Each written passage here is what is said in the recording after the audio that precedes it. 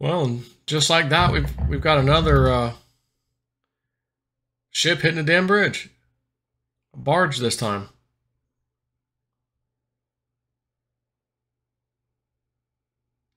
I mean, you almost can't make this stuff up, can you?